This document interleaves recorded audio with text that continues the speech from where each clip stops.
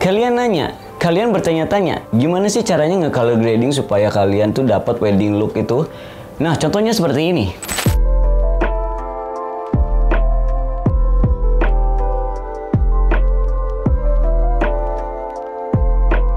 Nah, buat kalian semua bisa tonton videonya dari awal sampai akhir dan di belum subscribe bisa kalian klik tombol subscribe dan klik loncengnya biar kalian gak ketinggalan video-video terbaru dari gua. Kita putar intronya, cekidot.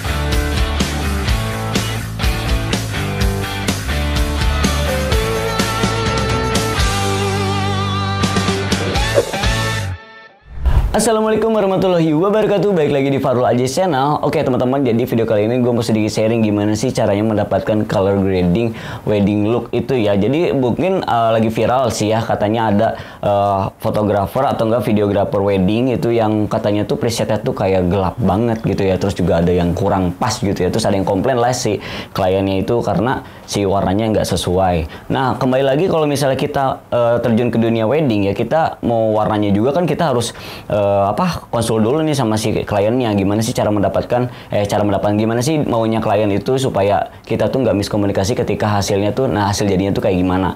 Itu perlu banget. Jadi nanti hasilnya juga tidak mengecewakan ya mengecewakan si kliennya. Jadi ada beberapa gue lihat di di sosial media itu katanya ada yang kecewa dengan wedding uh, apa hasil weddingnya tuh gelap gitu ya. Kayak gimana ya? Menurut gue kayak dark mood lah istilahnya kayak gitu kayak gelap gitu ya.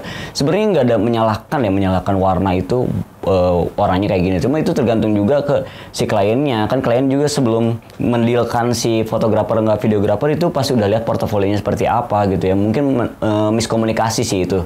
Nah, di sini gue mau ngasih cara bukan cara sih sebenarnya e, ngasih sharing aja gimana caranya nge-color grading supaya mendapatkan wedding look yang enak gitu ya menurut gua ya ini ya menurut gua.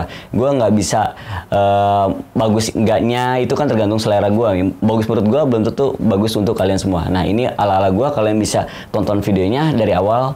Oke nggak usah tunggu lama-lama kita langsung aja ke monitor caranya seperti apa? Yuk. Oke teman-teman kita langsung aja gimana sih caranya mendapatkan color grading wedding look ya teman-teman. Jadi wedding look itu kan tergantung ke karakternya videografernya sebelum kita uh, melakukan color grading biasanya kita berunding dulu nih sama si klien. Klien tuh pengen warnanya yang seperti apa dan kayak gimana. Jadi tidak ada salahnya sih misalnya warna setiap warna itu tergantung ke karakter dan permintaan si kliennya. Nah sekarang gimana sih caranya? Ini masih sama-sama grading-grading yang lain. Sekarang kita langsung aja uh, bikin adjustment layer. Biasa ya. Di sini kan ada gua tiga footage nih di sini ada tiga footage ya kayak gini nih nikahan gini. Kita buat dulu adjustment layernya untuk nge-color gradingnya. Ini satu footage dulu deh ya yang ini. Nah di sini gue pakai kamera Sony ZV-S10 teman-teman dengan resolusinya tuh kalau nggak salah nih 4K pakai S-Log 3 juga. Nah biar gampang ketika color gradingnya ketika color gradingnya kita biar gampang nih kita bikin adjustment layer terus masuk Lumetri Color Nah terus masuk kreatif di sini gue pakai uh, Rex Orange dulu ya. Jadi pas nge-color gradingnya nanti kita nggak susah teman-teman udah jadi berbentuknya tuh udah apa ya udah jadi warna ya tinggal kita mainin lagi. Nah di sini udah ada presetnya nih gue dari mulai DJI, D-Log, terus juga Sony S-Log 2 dan S-Log 3. Di sini pakai Sony S-Log 3 kita masukin. Nah di sini kan udah jadi tuh warnanya ya udah keluar lah ya udah timbul. Jadi kalau misalnya manual itu kan lama banget lah ya kalau misalnya dari S-Log itu harus benar-benar berapa lapis ya mungkin ya.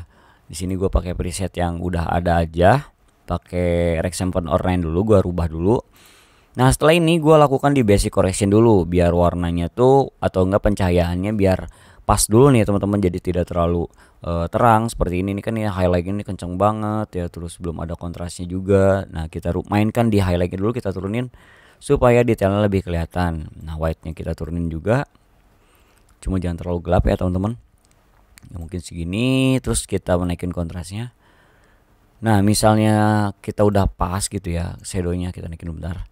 Udah pas kita bisa mainin curve juga kita maksimalin lagi. Misalnya gini biar biar lebih kontras ya teman-teman.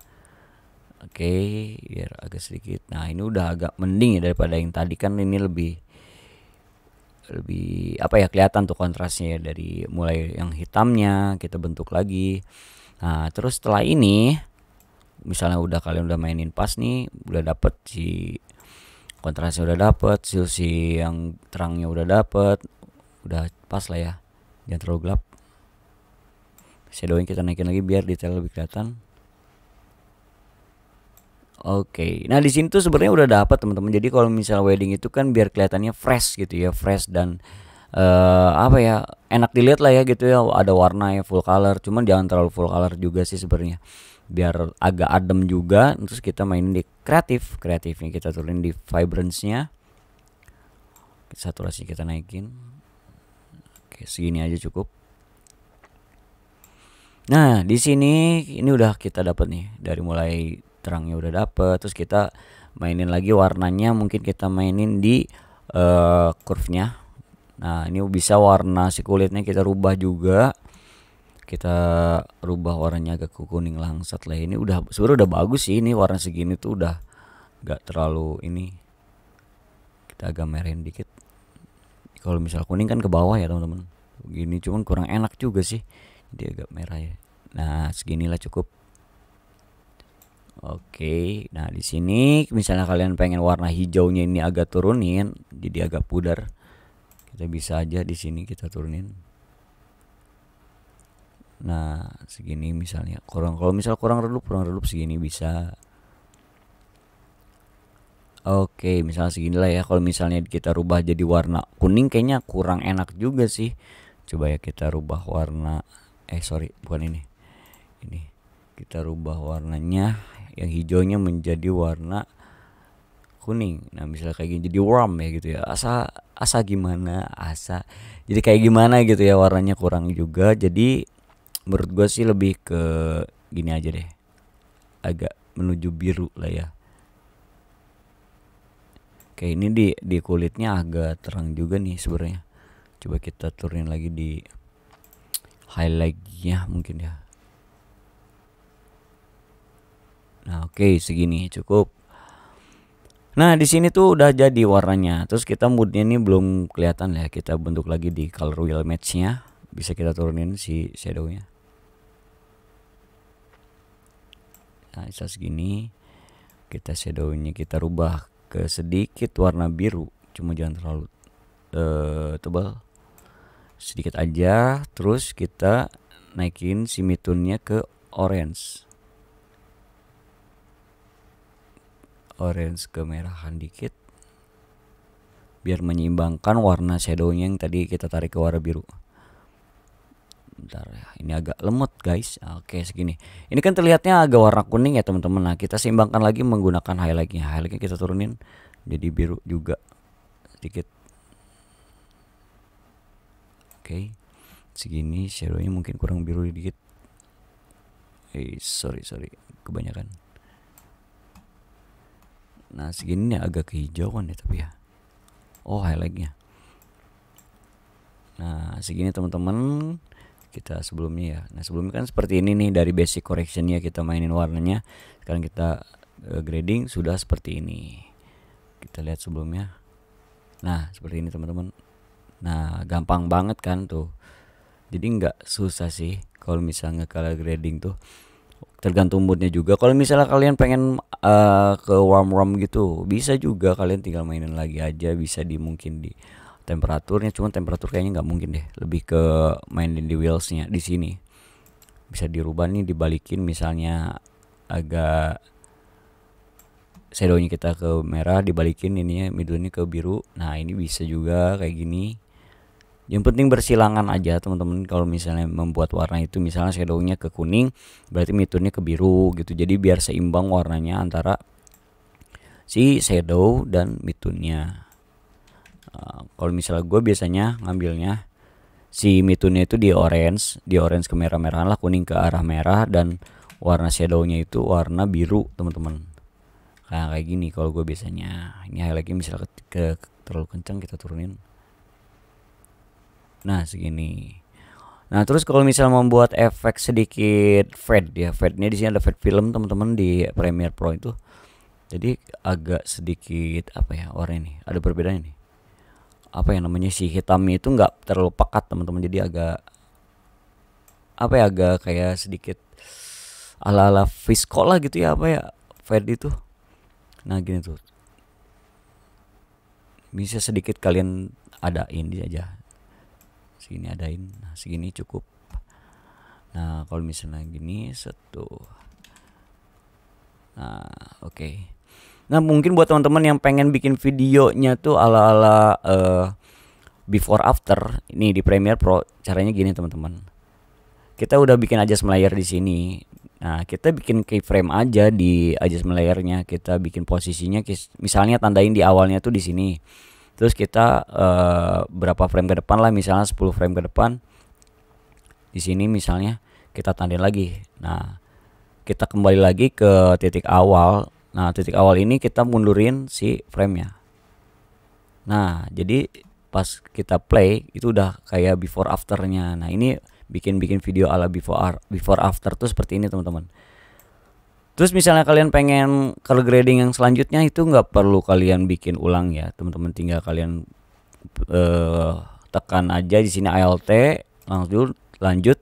Kalian klik di drag aja digeser. Ini udah jadi teman-teman. Jadi tinggal kalian ngatur lagi warna-warnanya. Misalnya ini kan terlalu gelap ya di sini nih.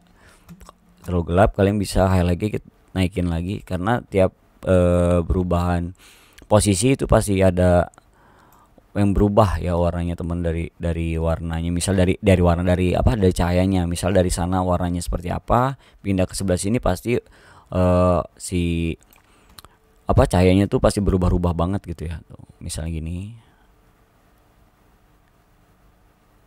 Nah, terus selanjutnya kalian bisa ikut e, lakukan terus ke footage-footage selanjutnya.